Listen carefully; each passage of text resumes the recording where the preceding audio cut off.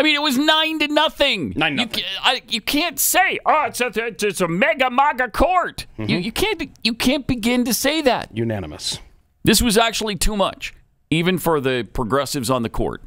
They you can't you talk about democracy. There's nothing less democratic than taking Donald Trump off the ballot.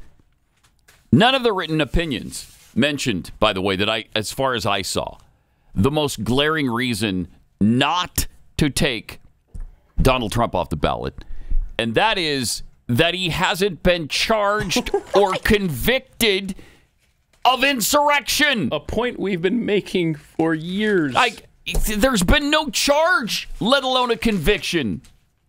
You can't remove him based on an allegation. I don't care if it's Congress or if it's uh, the state or whomever does it. You can't remove a person based on an allegation.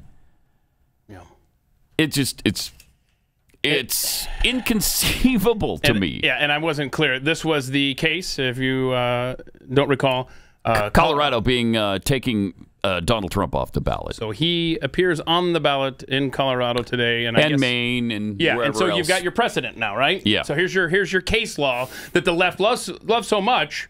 Nine nothing. Here it is. Keep him on every ballot. Yeah. Yep. I can't even mean, they were pretty clear about that. How, how did we even get I, that far? I don't know. I don't know. It's it's incredible that it got to that ludicrous place to begin with. But here's the Colorado uh, Secretary of State on the Supreme Court ruling. I'm sure they're pleased. My larger reaction is disappointment. I do it? believe that states really should be able, under our. Constitution, to mm-hmm. bar oath breaking insurrectionists. and ultimately, this decision leaves open or leaves open the door for Congress to, Pause it act for a to pass authorizing Whether or not a state can or can't remove an insurrectionist, first, they have to be one. They have to be an insurrectionist. Then, maybe. Oh, although, according to the U.S. Supreme Court, no, you can't. Hmm. Sorry, that's got to be Congress. Congress can do that. The states can't do that. The U.S. Congress can do it, but not you. Okay, but he's not an insurrectionist. I don't I don't know where they're getting this. I, how is that lost on anybody? I don't understand it. He's been not even charged with being an insurrectionist. It's truly. Oh, it's it's agonizing. It sure is. All right, let her finish. authorizing legislation. What a Uh, dummy. but we know that Congress is a nearly non functioning body. so ultimately, it will be up to the American voters to save our democracy in November. That's all, and that's honestly, isn't that all we're asking? yeah. That's literally that's all we've been saying is Right. you love democracy so much. Let it, it let it work. Do you just not trust the people? Is that is that what the problem is here? My gosh. These people are something else, man. Oh, it's just So so it is Congress's purview, yeah. uh, according to the Supreme Court in the Right. ruling. Right.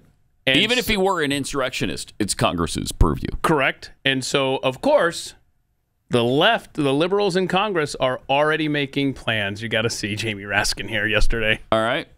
I am working with a number of my colleagues, including uh, Debbie Wasserman Schultz and Eric bet Swalwell, are.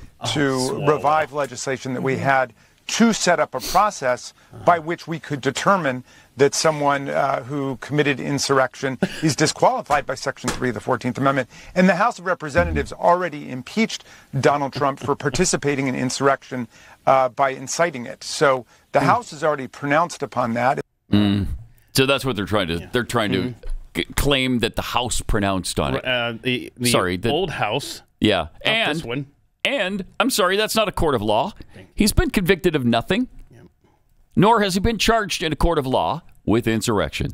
It's just stunning that that the party that continues to scream democracy, democracy, democracy is trying to remove it.